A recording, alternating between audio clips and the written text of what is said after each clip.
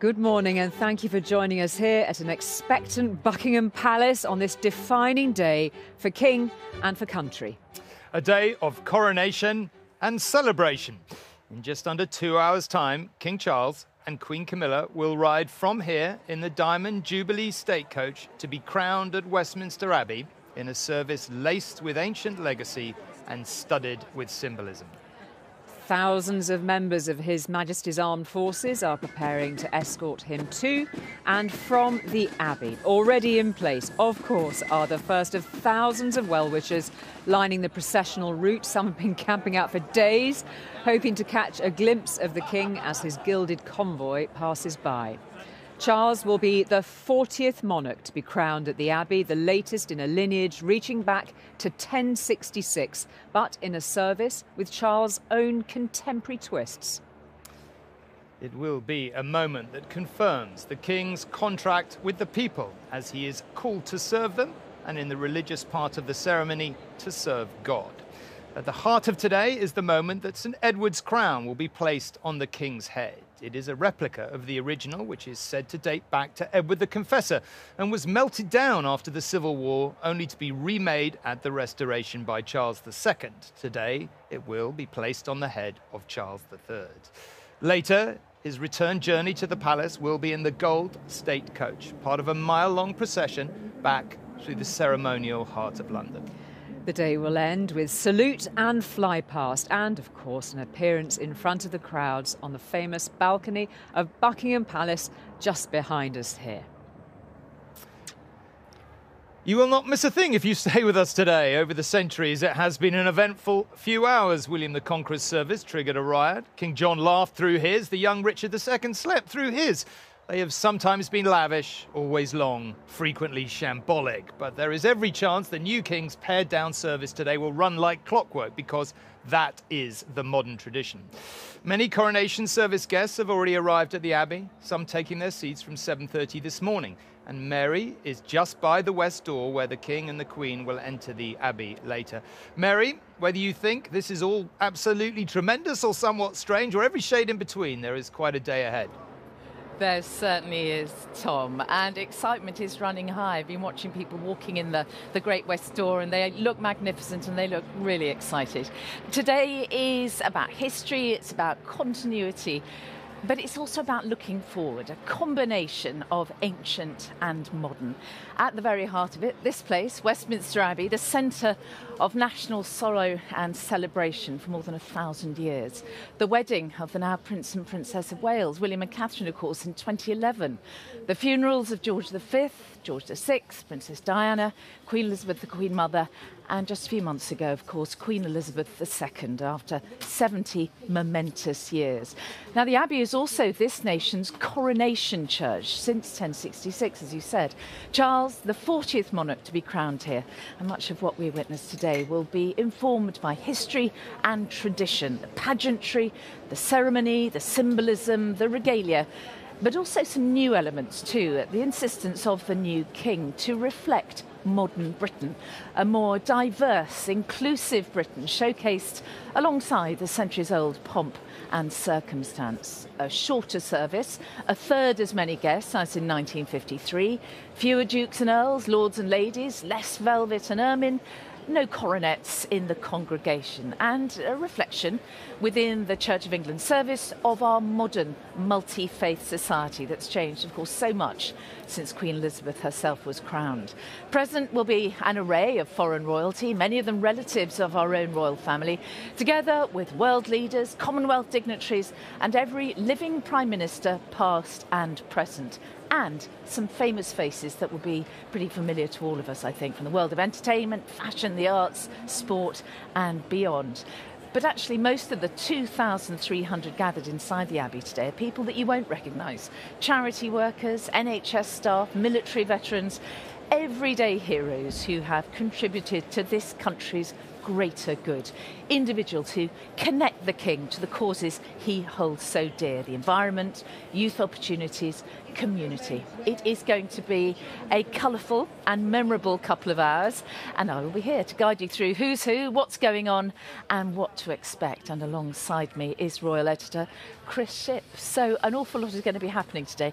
What is it all about, Chris? Do you know, look, we, what we're going to see here today is an ancient ceremony. It's full of religious significance and historical significance. And in fact, a lot of the things that are going to happen uh, in there are traditions that will be familiar to the king's forebears. But I, th- I think not without some justification. People might ask today, why? Why are we doing all this, given that he's been king uh, since the moment of his mother's death uh, last September? And the answer is that every single king and queen regnant that's come before him has done this. As you were saying, William the Conqueror had his uh, coronation in here in 1066, and even before that, we can go back to some of the things that they will do today relates to King Edgar in 973 AD at Bath Abbey. So look, the history is here. This is just what kings do. There's there's there's him pledging his oath to the people, if you like, and also there's the Act of Parliament, the coronation oath that he will give. That's the one part of the service which is about the law rather than than about uh, religion itself. But whatever else, it's going to be a spectacle today. We're going to see something quite magical. They say it's going to be pared back, but it's going to be pretty glittering, isn't it, nonetheless? I don't think anyone watching this today will think, hey, this looks a bit slimmed down. It won't look slimmed down at all. You know, the moment that the King and Queen come out of the door there and get into the Gold State carriage, it'll be so long, more than a mile long, that the front of it will already be halfway down the mile. Uh, none of it's going to look slimmed down, but we keep being told that this is mixing tradition with the modern, things like you'll have female bishops for the first time, etc., and a lot fewer people. Don't forget, Queen Elizabeth had 8,000 people in there. Today, as you were just saying, just over 2,000. And a last minute change to the, to the order of service. Yes, uh, we've spoken a little bit about this homage of the people. It's been a little bit uh, controversial. Uh, the church has, and the palace as well, has been telling us, look, it's an invitation uh, rather than a command. Uh, uh, we note the wording has been slightly changed to invite people to pay homage to the king if they so wish. But it's the one bit of the whole service that's been a little bit controversial in the last few days. Okay, lots more to talk about. Plenty of time to do so for the moment, Chris. Thank you. Julie. And we'll be keeping a close eye on all those arrivals at the Abbey this morning. A few notable faces already. We saw Emma Thompson, we've seen uh, Dame Judi Dench, Lord Simon Woolley also taking their place. Uh, thousands of invited members of the public will also be watching the procession from a grandstand on the opposite side of Buckingham Palace. We can see them from our spot here, and Nina Hossain is there too. Nina. Just look at the uh, stupendous view that has been afforded to the invited guests here at this uh, specially built grandstand for this uh, incredible day that we've got in store. From here, these people will witness history on a grand scale, but up close and personal on arguably what is the country's most famous stage. So, who is here? Well, estimates say around 300 million people are watching the coronation unfold around the world, but no estimate, 3,800 people have been invited here. They've been given a golden ticket because of the work they do or have done in service to the public. The British Legion has invited some thousand veterans taking part to watch as the Armed Forces' new commander celebrates his big day. Alongside them, hundreds of workers from the NHS. NHS, give me a cheer, please. Hundreds of workers from the NHS and from the social care sector in here in part to be thanked for the incredible, relentless hard work, especially during the pandemic. Everyone was under strict instruction to arrive here early this morning and, and try to get seated and settled by 8.30. As you can probably see, uh, a splattering of red, white and blue, but also they are dressed for every eventuality, I guess, that the British weather could throw at us today, come rain, shine or even thunderstorm.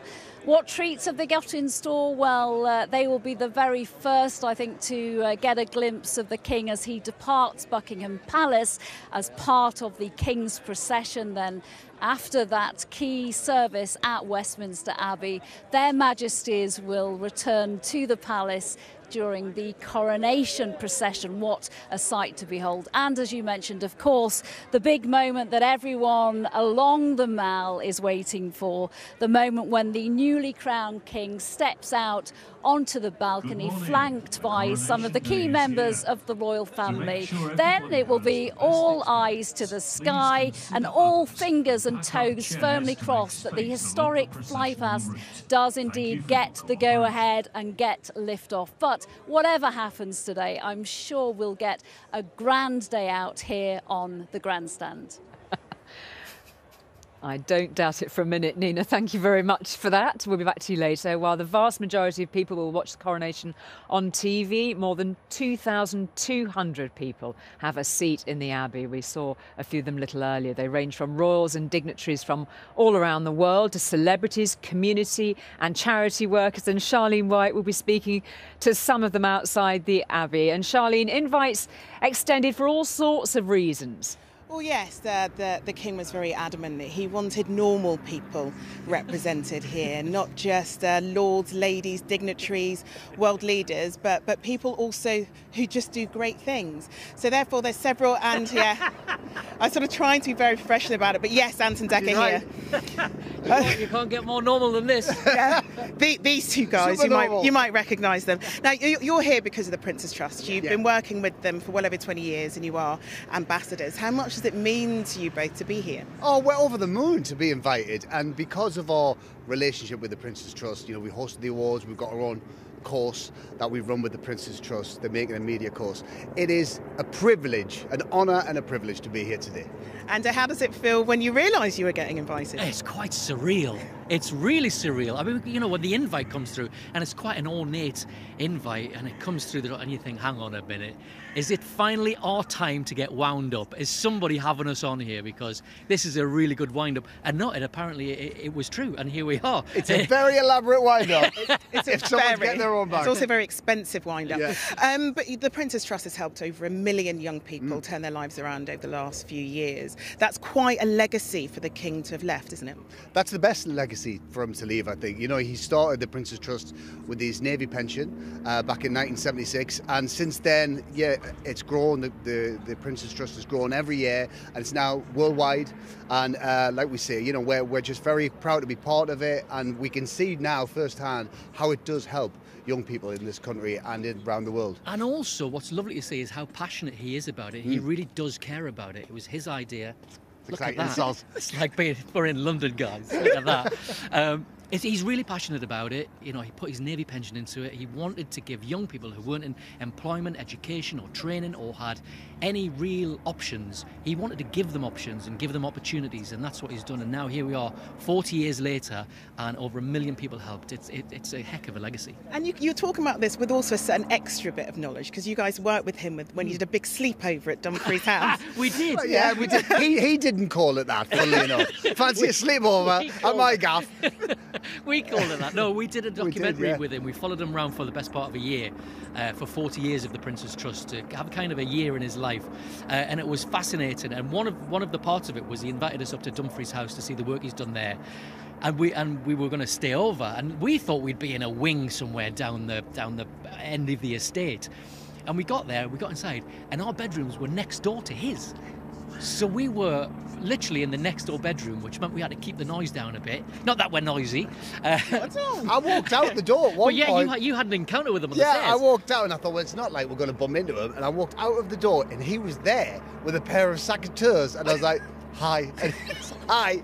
And then he goes, one finds that it's always better best if one prunes the roses oneself, don't you find? I went, absolutely.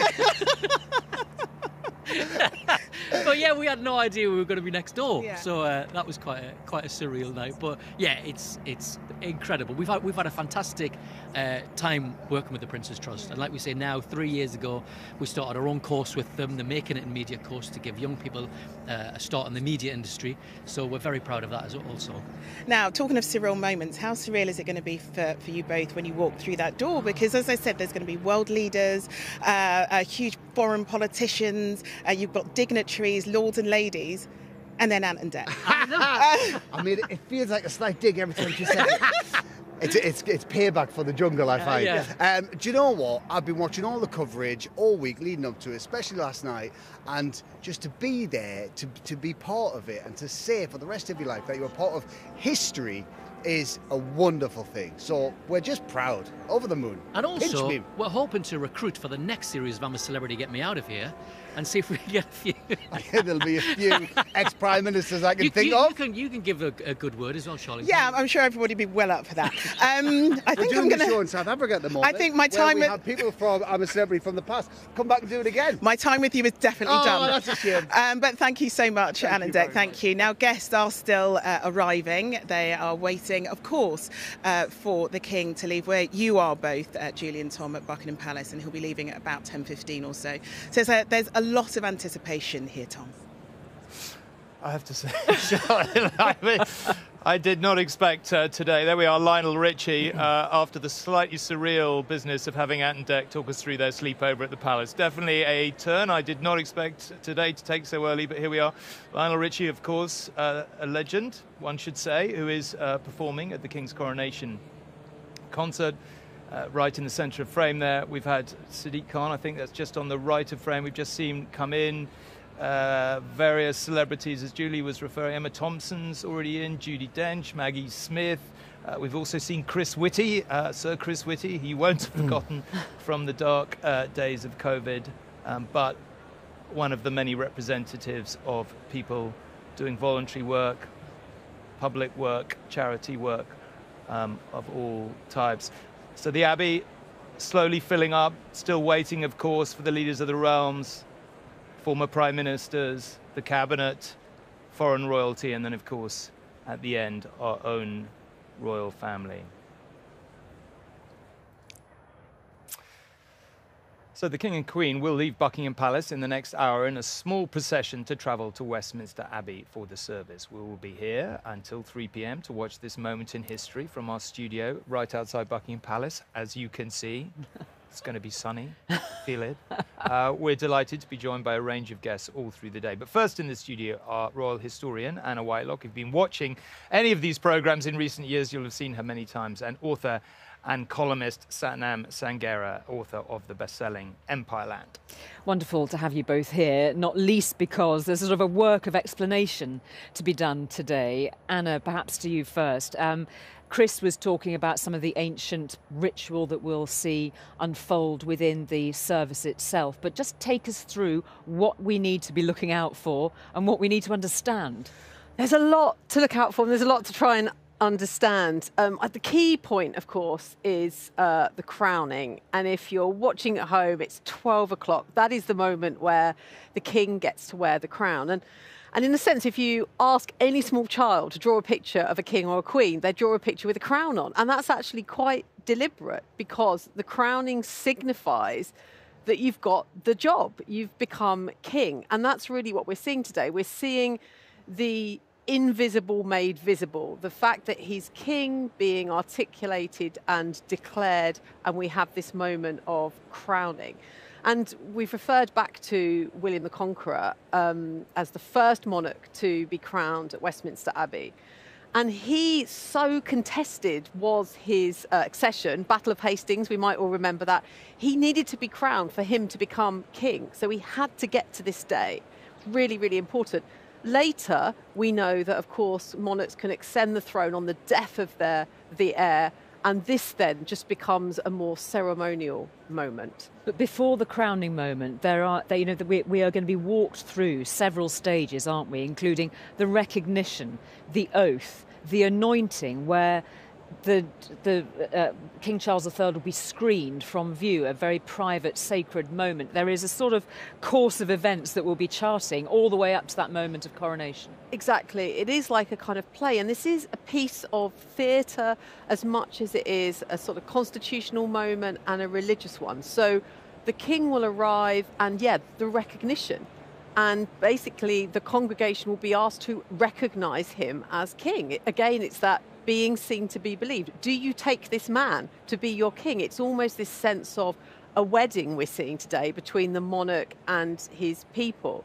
And then from uh, the recognition, we move to uh, the oath. And the oath is really important. It's the bit that actually has to happen, the coronation oath. It's odd, and we can talk about it a bit more because it really only makes sense if you were in the 17th century when we felt the sort of threat of Catholic Europe it's Protestant. The king has to promise to uphold the Protestant church. He has to then promise to be a Protestant. All quite problematic in the, the multi faith age that we live today. And it's only after the oath and then the anointing, this very special uh, moment where oil is placed on the monarch, he will be screened. But again, really important to emphasize that spiritual, sacramental part of uh, the ceremony, and then finally the crowning. But we should also remember that, of course, he is be- becoming uh, what crowned as King of the United Kingdom, but also, of course, he is King of countries around the world. So, King of Jamaica. It's the coronation of the King of Jamaica today. It's the coronation of the King of New Zealand today. So we need to be really aware of that, the fact that we are uh, performing here something that means something, and of course it's a contested meaning now. Countries across the Caribbean, in particular, are making decisions as we speak about their future. Barbados became a republic just 18 months ago. So, a number of countries here uh, that Charles, in that coronation oath, it will be referred to as the realms, that he promises to uphold the laws in those realms. Well, actually, the number of realms is arguably going to be diminishing all the time. Sathnam, if you just hearing Anna talk about that, we're talking about a service that has very specific origins at various points in our histories. Just saying the oath, kind of from that uh, period when so much was contested. How do you? Britain's a totally different country today. It's a multicultural society, for one thing, which, as Anna said, the King is trying to reflect, but it's a very restrictive, very specific service. How do we make sense of that? Yeah, for me, this is a, a very imperial occasion. I mean, even the background here these these elements the, of the pageantry aren't actually that old. I mean, the the facade of Buckingham Palace, the Victoria Memorial, the Mall. These were things that were built at the late 19th century, the early 20th century, at the height of empire, to make London a more competitive imperial city. And then you've got the slickness of the event. I mean, it's only when Queen Victoria got made Empress of of India in 1877 that things got more professional. I mean, Queen Victoria's uh, coronation famously was unrehearsed, quite chaotic. The clergy lost their place, the ring didn't fit on the finger. But everything had to get more serious when the crown began to represent the biggest empire in human history. But today you're going to see all sorts of things that go back to empire. All the Commonwealth leaders, and the Commonwealth exists because of empire, and the sheer multiculturalism of the event is a reflection of the fact that we have a multicultural society, which reflects the fact that we had a very multicultural empire. I guess that gives the crown something of a problem, though, doesn't it? Mm. A days like today, is it reflecting that past or moving on from that past? And do you think, how do you think the crown should approach that, and the king in particular? Yeah, the crown is very complicated. It no longer represents a huge empire. It represents the Commonwealth, and there's questions about what the Commonwealth is for. It represents the Commonwealth realms, and there's lots of countries that no longer want to be Commonwealth realms with the king as the head of state. And it also represents a multicultural society, which is facing all sorts of awkward questions about loot, imperial loot, and about slavery.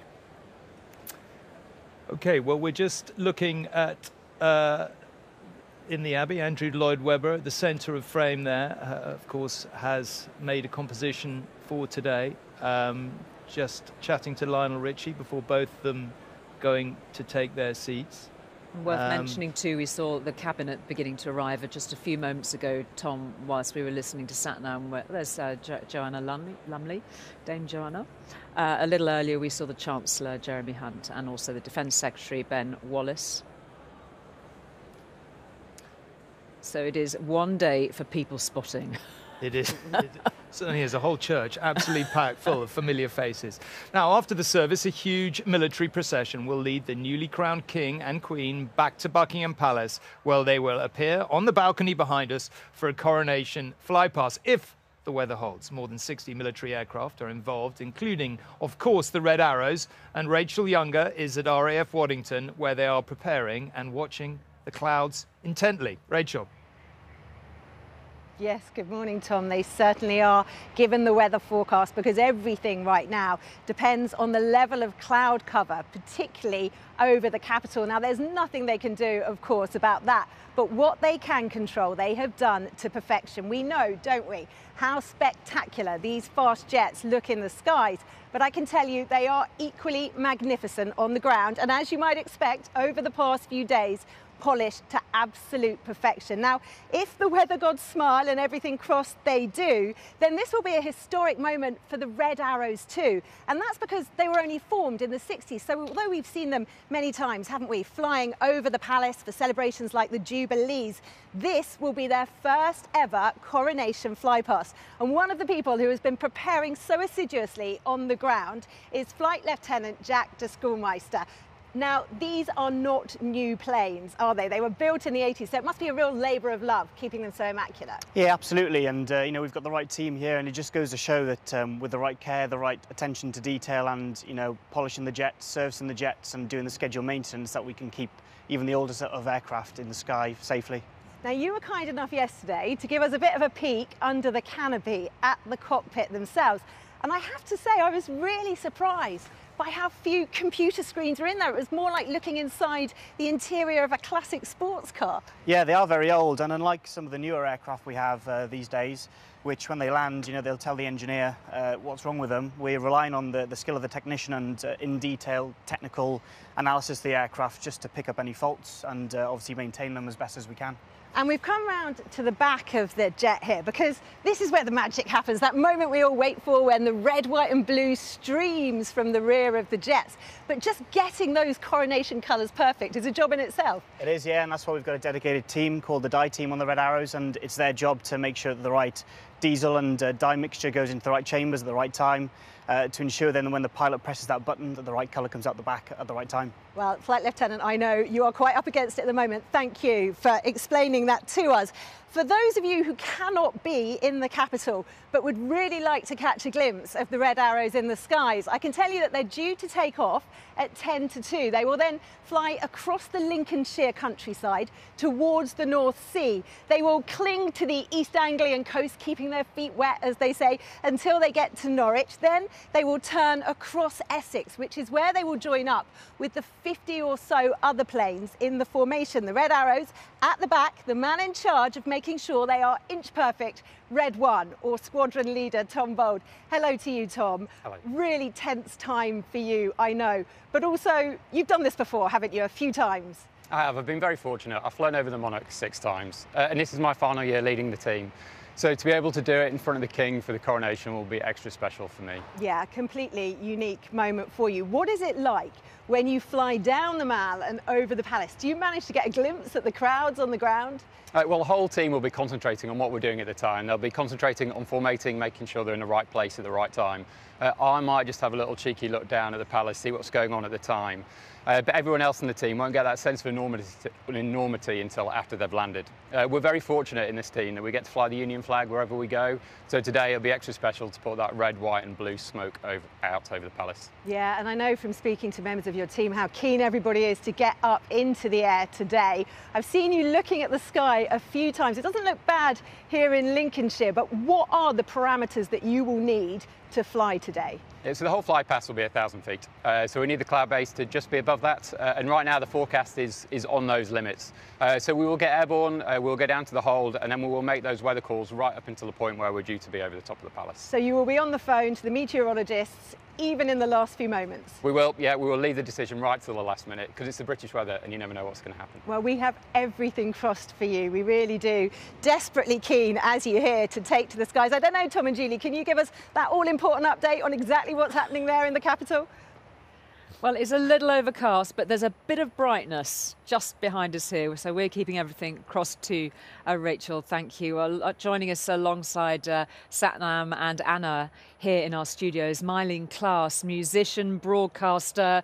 You perform for the for the King, Myleene. Uh, we're just waiting for the music to begin in the Abbey, um, and this is a really important part of that. Just briefly, give us a sense of what you're excited about. Well, what is so exciting about this is imagine you finally get the chance to listen to King Charles's playlist.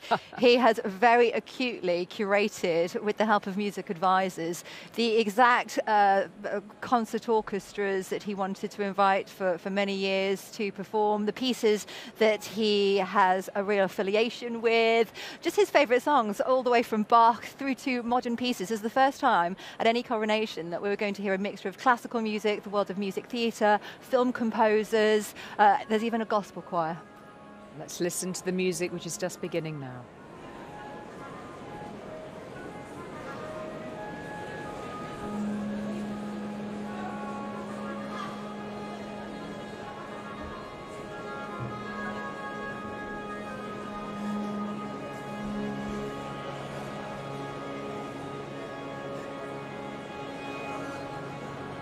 Just hearing some of the preparations for that uh, music, which is going to be there for people to listen and contemplate their surroundings uh, whilst they're listening to it, just before it begins uh, Myleene, what will people in the Abbey be hearing first? Well, what is really interesting, the fact that you said we're hearing the music, we're not seeing it, and that is because most of the orchestra is up in the triforium. So these are the rafters. Uh, it's almost like being sort of stuck in a corridor. So they've had to actually put special rehearsals together in order to be able to cram. There's nearly 200 musicians in the Abbey at the moment. So there's some very clever arrangements that have had to take place to be able to encapsulate the full breadth of how these pieces were initially written. What you're about to hear uh, now uh, for the next 20 minutes or so is the Monteverdi Choir, and you're going to see their conductor. Now, Sir John Eliot Gardiner is a very good friend of King Charles. They've got a common interest in music uh, and also agriculture. So, Sir John Eliot Gardiner, he's actually a farmer, and when he was knighted by King Charles, King Charles said to him, um, Thank you for the heifers. He gifted him two heifers uh, for his 60th birthday. So they've got a very close relationship and friendship. and uh, what is so beautiful about this music, it's our introduction to the first pieces that we're going to hear at the Abbey, chosen by King Charles, and it's Bach. So very traditional, uh, probably the oldest hymns that you're going to ever hear uh, uh, about Mary uh, and uh, Christian music. So a very interesting uh, way to start the proceedings. And many musicians like to begin their day with Bach, I believe. Because well, he's the granddaddy. He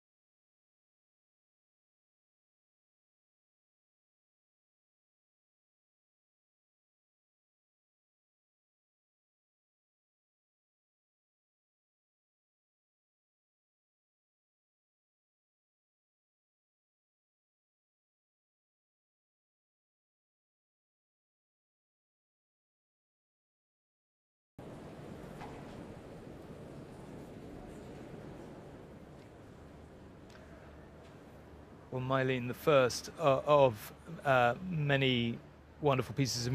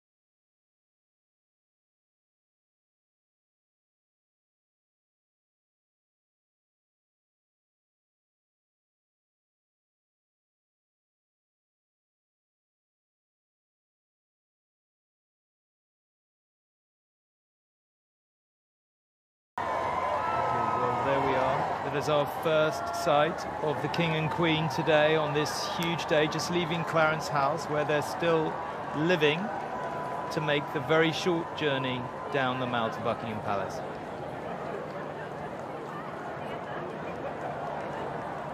The first grand sight of many along the Mall this morning.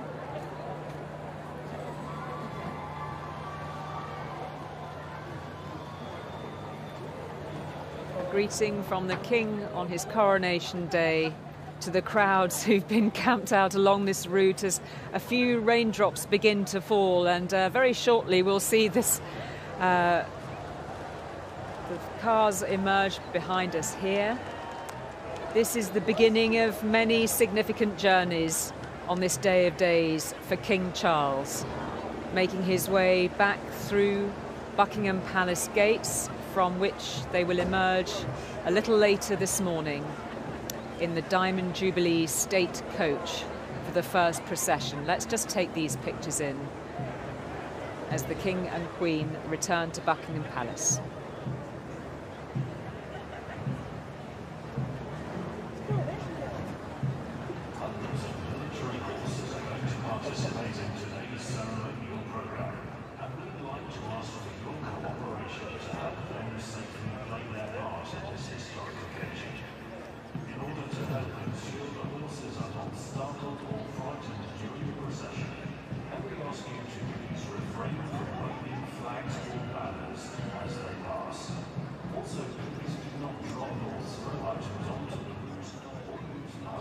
So we're watching now uh, alongside the crowds that you can see on the uh, galleries below us there, just in the left-hand uh, shot of your screen, those who got that first glimpse too, like us, to see the King and Queen uh, travel from Clarence House to Buckingham Palace. And I think uh, Nina was there and saw it all unfold there too, Nina. Yeah, I did, and so did the crowds. But actually, uh, it was so unexpected that even though I was trying to point it out to people, I don't think they really realised what was going on. It was earlier than expected and not what was expected. So as soon as they did realise this was indeed the King and Queen, a cheer went up in the grandstand. But I am expecting much, much louder scenes when the King's procession begins a little later. Thank you, Nina. Yes, uh, we see you've got your uh, umbrella to hand. A few drops of rain uh, pouring uh, now on the Mall. And uh, here in the studio, 2. we saw the King uh, pass by around the Queen Victoria Memorial into Buckingham Palace. There'll be lots more to see from here, lots more to see, too, at the Abbey, of course. And Mary and Chris have got a great view from there, Mary. We really do, Julie. We're feeling very lucky. I'm joined by historian, royal author Hugo Vickers to join me, and Chris Ship, our royal editor, this morning. And we are seeing people arriving all the time now. And there was a very, very interesting arrival just now, which was the chief rabbi, wasn't it, Chris? Chief rabbi walking here, and incidentally, a very interesting story there is that the king allowed him to stay last night at Clarence House. We've just seen the king come from Clarence House because, of course, it's the Sabbath, and therefore he was unable to get here any other way other than by foot. So the king allowed him to have have one of his presumably many bedrooms at uh, Clarence House last night, and he's just arrived here in front of the Abbey. Just walked in, to- totally alone, and uh, and a-, a, demonstration, isn't it, of the multi-faith nature of this service. Hugo. Very much so. Yes. I mean, we've seen all sorts of things. We've seen a lot of diversity within the Abbey. People sitting there. We've also seen the peers in their parliamentary robes. We saw a fantastic procession of, of officers of arms. That's the heralds coming by with. Um, Lady Manningham Buller as dressed in the Order of the Garter, one or two regalia peers as well. Um, Baroness Benjamin, I saw her, for example. Um, so yes, it's a great, it's a great mixture. It's fantastic. It really is, and we're talking, aren't we, about this this uh, combination of ancient and modern. What are you most looking forward to seeing, Hugo? Well, I mean, it's such an amazing day if you think about it. I mean, the king, in the course of this two hour service, he will be recognized, he will be anointed, consecrated, crowned, enthroned, and blessed. That's a lot to take on. I mean, he will come out of it a different man than he went in. He will, it is the culmination of everything it means for him to be our king. And he has waited longer than any other heir in our history. He has, so he's had plenty of time to think about it. And I think, as we've already seen, one of the things he's been thinking about is the music. I mean, he's uh, the music is partly traditional and partly new. He's commissioned 12 new pieces, as you know, but also we'll get Zadok the priest, we'll get I Was Glad, and it's going to be a fantastic uh, performance apart from anything else. And looking at the congregation now, looking at John Eliot Gardiner, and everyone looks like they're enjoying it. It's a real sort of feast for the senses, isn't it? It is, and I think anyone who has been invited has, is, feels very special, especially because only 2,000 people this time instead of 8,000 last time.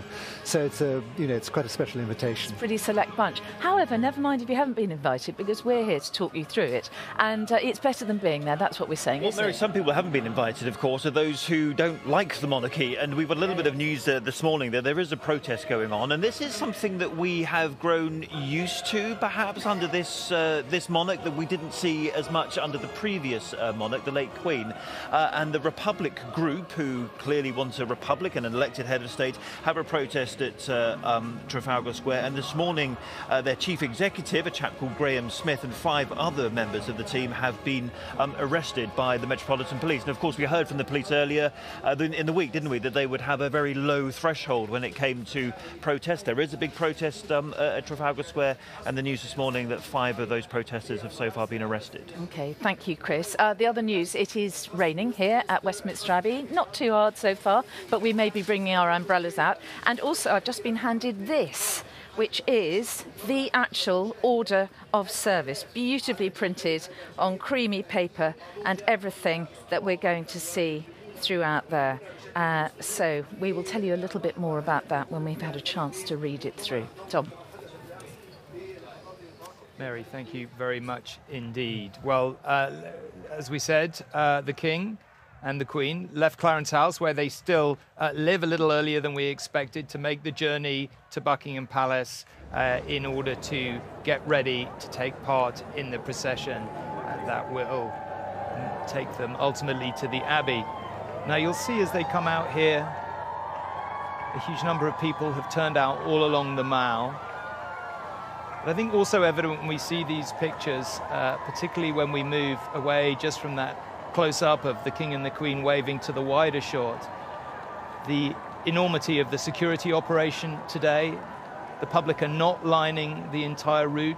They're not around Trafalgar Square, for example, not around Parliament Square, I think because of the difficulties of the security operation. Uh, and as Chris was saying, we've just had the news that the head of Republic was arrested, apparently for unloading placards, and maybe that's a good moment to bring that back into the studio and have a little chat about that. I mean, Anna, we this is a very difficult balance everyone's got to strike, right? If you've spent hours queuing, you don't really want your day to be ruined by, you know, protesters. On the other hand, we are a democracy. People have the right to protest. People are quite uncomfortable about these quite draconian new laws. Where's the balance, do you think? That's a big question. Uh, yes, I think it was sorry. certainly, I mean, a coronation day is really about, we talked about this kind of contract between the monarch and the people, but it's about the two engaging. There's a kind of dialogue. Um, and if we think back to centuries past, there would be a much longer uh, procession on the eve of the coronation through from the east of London all through with, with pageants lining the route where people would communicate messages of aspiration, of hope to the new monarch, what they hoped that he would you know, be true to and, and would champion. And so I think we need to kind of get away from this kind of very strict sense of it has to be absolutely perfect and be a bit real about this. And this is about, yes, absolutely, we have a, a constitutional monarchy, we have a democracy, and actually the monarchy needs to be part of the cut and thrust of that. And so I think, you know, we wouldn't really want to see, would we, just cheering crowds when we know as a country that many people, if not entirely opposed to the monarchy, do have questions about exactly what the crown represents now. And I think the symbol of the crown which when we talked about William the Conqueror, it genuinely was a contested crown. There were other heirs. Now I think it's a contested crown, but in a very different way. What it represents, who's it for, is it inclusive, what's its future? I think it's also interesting to note, and we should just touch on some of the images that we're seeing now along a slightly damp mile, it has to be said, um, that, you know, it is about also not only an understanding of a crown, Sathnam, but a personal understanding of who the current monarch is, the personality, the character, the presence of that person uh, mattered enormously under Queen Elizabeth II, uh, not least purely because of the length of that reign, of the span of the history that she, she covered. Yeah, I mean, a friend of mine who organises Indian weddings call this uh, a low-key event. and uh, it is low-key. It's low-key compared to 1953. It's low-key compared to the coronation events we saw in India, which had you know, 100,000 tents, which went on for a month. But also, it's quite a troubled occasion. I think there's really profound questions being raised about how equal we are as a society. And the entire event has been overshadowed by controversies to do with empire. I mean, one of the first things the organizers did was make clear they weren't going to use a Kohinoor diamond.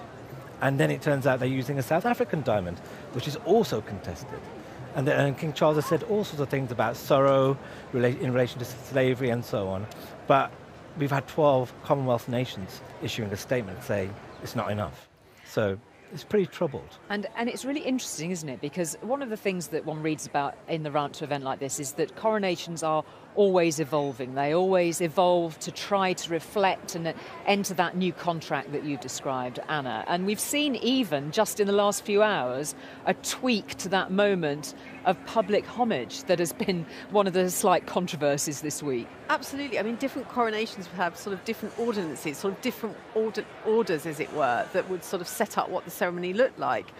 And yes, so much stays the same, and we keep talking about, you know, going back to 973 or 1066, but then there are different inflection points, and by different changes of emphasis, things that are omitted, and we can see that today, um, reflecting changing society. So interpretations involve, even if the ceremonies stay the same. But yes, this question about the homage of the people, and of course, in many ways, it may well have been a kind of, you know, it, something got lost in communication. And, you know, it wasn't the intent to order people to do it. But such is the contested nature of the times that people see that as some kind of order. And it really kind of ignites this sense of injustice because it's about inequality, about the sense of obedience to an allegiance to one man.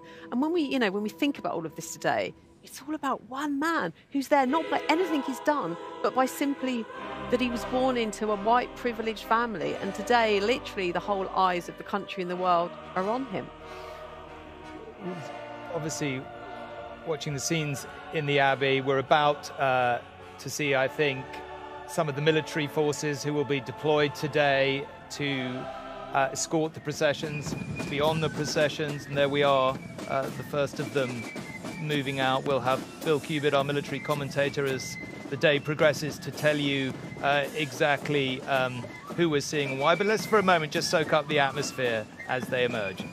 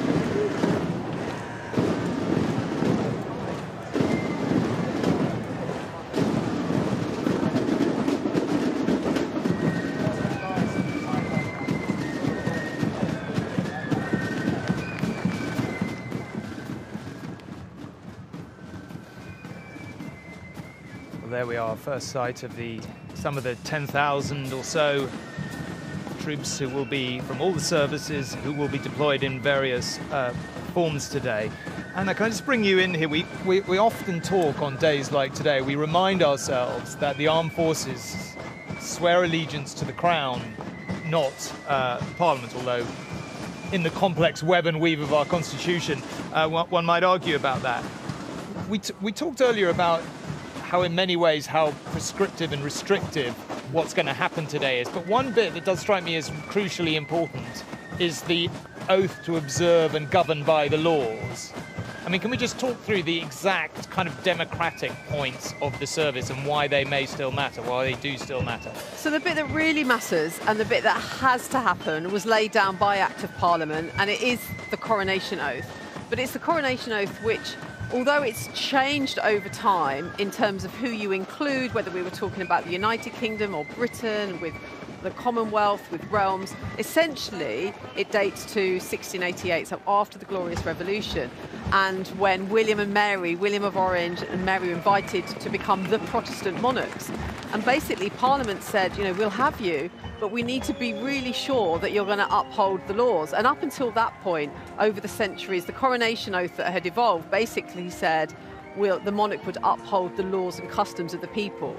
And Parliament were like, mm, it's a bit too vague. We just need to really nail this one because the first Charles didn't really play by the rules. So they made it very, very clear it was the laws as established in Parliament. So Charles today will promised to uphold the laws and established um, in Parliament in the United Kingdom, but also the laws in the other realms. And this really does, again, make it very clear that he isn't simply head of state in the United Kingdom, it is also in those 14 other realms. And one of the changes that has been made to the coronation oath this year this time is rather than list those realms, they're just being referred to collectively. Now, you might just say, is that sort of hedging their bets because it's, such a kind of changing uh, situation? You know, Barbados broke with uh, becoming a Commonwealth realm last year. So we're just mentioning them collectively. But it is the bit that matters, him upholding the laws of uh, Parliament. Let's listen into some of the sounds and take in some of the sights here on the Mall.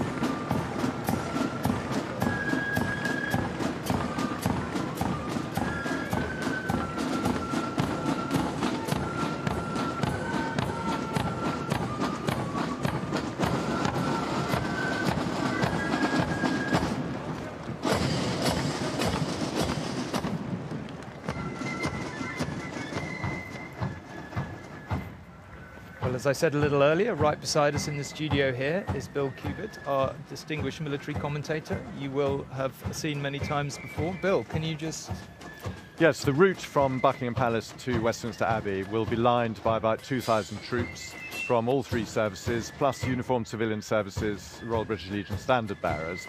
And this, th these detachments are now marching out from Wellington Barracks. Uh, we're looking here at detachments of foot guards, there the Grenadier Guards, moving into position where around the Queen Victoria Memorial they will be at two paces apart, which is much closer than normal, and then five paces along the rest of the route. So it will be the foot guards on the Mall up to Admiralty Arch, where the Royal Navy will then take up the route lining duty, and then the Royal Marines, the Uniformed Civilian Services, and then round to the uh, Royal British Legion standard bearers representing military charities. We're looking here at the Band of the Royal Marines. All these detachments are marched into place by musical units, so either bands or corps of drums. The Royal Marine bands are the bands of the Royal Navy, of course. And worth noting uh, on this occasion, Bill, the procession route goes beneath Admiralty Arch. It's quite a difficult manoeuvre, isn't it? What we're going to witness from these many thousands of troops today. Yes, it's it's got a corner to turn, which is never easy in marching detachments. But it won't be as difficult as going under Horse Guards Arch because the Gold State carriage doesn't fit under that arch. so that's why they're going uh, through Admiralty Arch. They'll use all three arches. Um, as you can see there, it's Edward VII's memorial to his mother, Queen Victoria uh, put there in 1913, designed by Sir, uh, Sir Aston Webb. Uh, the Royal Marine Band will remain at Admiralty Arch uh, during the procession and provide the music in that area. Also, there will be 200 uh, uniformed cadets seated at Admiralty Arch watching the parade. Uh, this is Charles I on the right. so we're in uh, Trafalgar Square, south edge of Trafalgar Square. And this, if you like, is part of the corner down into Whitehall, where the route then goes down to Parliament Square and the Abbey. These are Royal Marines in their pith helmets. And we should mention the police, of course, who are outside then. So the armed forces have got 10,000 people involved, while the Metropolitan Police have got 30,000 people involved. It is a quite astonishing level of security around this route, isn't it? And, and it is for the King and the Queen, of course, but also thousands of troops who are going to be out on parade today. Yes, we're going to see the main parade, which is the one on the way back, is 4,000 troops uh, marching, which is about twice the size of the Queen Elizabeth's funeral procession. So it's, it's very big, this. And the point is that it there are detachments from every part of the whole armed forces, which is really hasn't been done in my lifetime, I don't think. As you can see, it's uh, started to rain fairly hard out there, which doesn't make things any easier. Bill, one of the things we note, we've been talking with Anna about, is the precision of these occasions. You know, it's sort of developed over the years to this sort of absolutely like clockwork thing. But these are big processions today. If you're the person in charge of it, how do you make sure it all runs perfectly to time? Well, rehearsal, of course, is the key thing, and they did a big rehearsal at RAF Odiham where miraculously the runways are the right lengths for the these two roads. Uh, so they have practiced it. They're using technology a bit more this time, so the parade will be started off over the radio because obviously no Sergeant Major's voice can be loud enough to carry a mile. So um, this will be done uh, over the radio to the marshals, who will then do it to their detachments who are next to them. And of course, a great deal of work has gone on by each service and by each unit uh, to get this right but it's very demanding. And we're seeing the streetliners deploy here. Of course, their duty is to remain in place on that route for three hours. Uh, now, they won't literally stand there for three hours because provision has been made uh, during the service for them to thin out into rest areas and then come back on. But it's a very demanding thing to do rather soggy uniforms too. Say, yes, I mean the wet, you're soaking wet. The wet weather plan is yeah. to get wet. right. Okay. okay. Yeah, it's very clear, very clear, simple. Very military. Plan. Everyone will follow that. yeah. Uh, that's one of the regimental colours of the Foot Guards, uh, who, which will be along the route. The King's colours will all be in the procession, and the the, the sovereign standard of the uh, King's Company of the Grenadier Guards will be in the Abbey. Thank you for the moment, Bill. Let's uh, take you back to the Abbey, and uh, Mary can tell us what she can see from there. Hi, Mary. Hi, Julie. Well, just picking up on what uh, William Cubitt was saying about the precision of these occasions, and I don't know if you can see behind me, but just by the Great West Gate, where all of the dignitaries are going to arrive shortly, there are lots of very smartly dressed gentlemen there, all of them looking at their watches, uh, constantly glancing at their watches uh, to make sure everything is running particularly and perfectly to time. Chris. Yes, and Bill was just talking about the wet weather plan. We've got our own wet weather plan here, which was to inch forward a little bit underneath the um, canopy because um, I was getting wetter than um, you. Uh, listen, we are waiting uh, now for the arrival of uh, lots of heads of state. 9:30 is the point at which uh, they are all arriving at the uh, the west door of uh, the abbey here, and then around about 10 o'clock we've got the faith leaders. Um, all eyes, of course, on the palace. We saw the, the, the king and queen uh, just now arriving at the palace. The next time we see them will be at 10.20, precisely for that 33-minute journey here in the Diamond Jubilee State carriage. Oh, no, that's Olena Zelenska, isn't it? Who's just gone in through the Great West Door. Of course, uh, the First Lady. Yes, and she had, um, uh, there was Ukraine. a photograph uh, last night of her with the First Lady of the United States, Jill Biden, for the, re- the reception that they had um, at Buckingham Palace. With the Princess uh, with of Wales. Princess of Wales, yes. Quite some power. Ah, and there's Prince Andrew. And well, okay. Where do we start? Um, Over to you, Chris. let's let's talk about Prince Andrew, and actually let's listen to see if there's any reaction in the crowd as he as he drives down the Mall.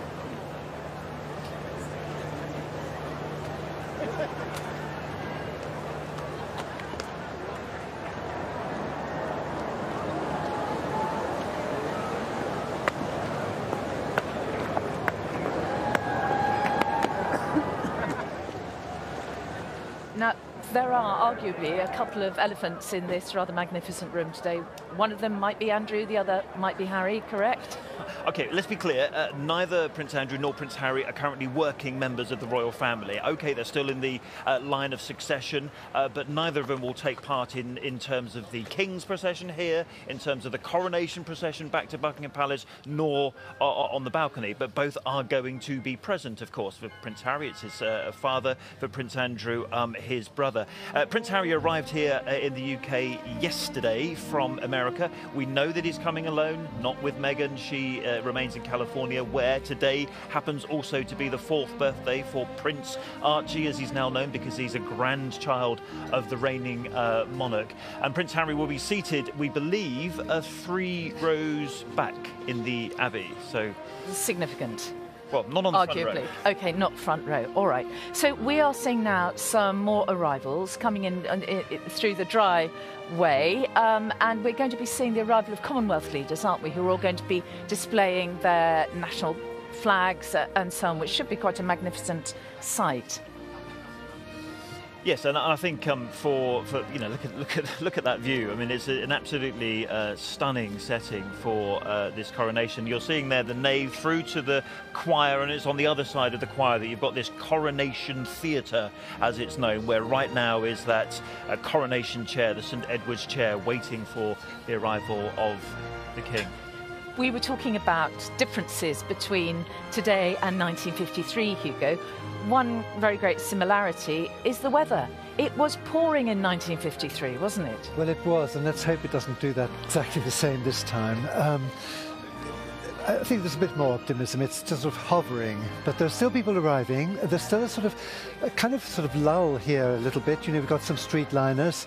Um, the west door is completely sort of uh, empty, waiting for special people to come to it. Um, other people, I think, have gone round the back. Some of them are coming through the cloisters. Some of them are coming, obviously, into the into the um, abbey itself. And a, a, sort of wonderfully miscellaneous way of seating them. I noticed a lot of peers, for example, sitting in the nave.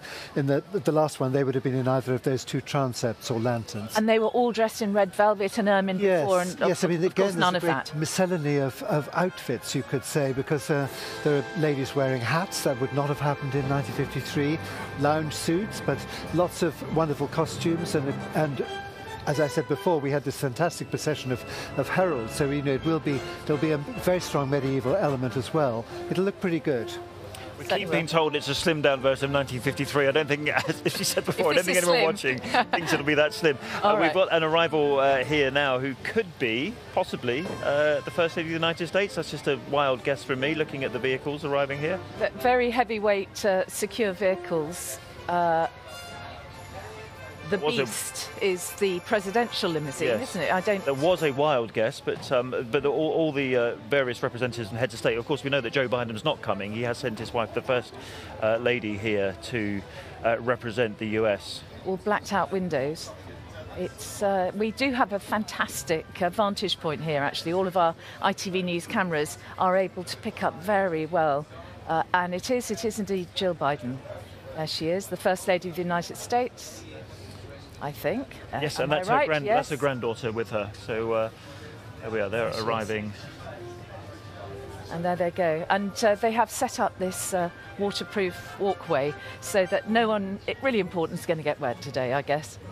Uh, which is an important part of the planning. and um, I like what Bill was saying earlier. There is a wet weather plan for the guests, which is to keep them dry, and there's a wet weather plan for the military, which is get wet. And the rest of us too. Nice and dry in the, in the Buckingham Palace, though, studio. Tom and Julie. So, one of the first uh, sights uh, we've caught this morning of the Archbishop of Canterbury, an onerous duty he has indeed uh, a little later, uh, performing the ceremony uh, that will unfold uh, after 11 o'clock. Uh, we'll just stay with these images of the First Lady as she arrives at uh, Westminster Abbey.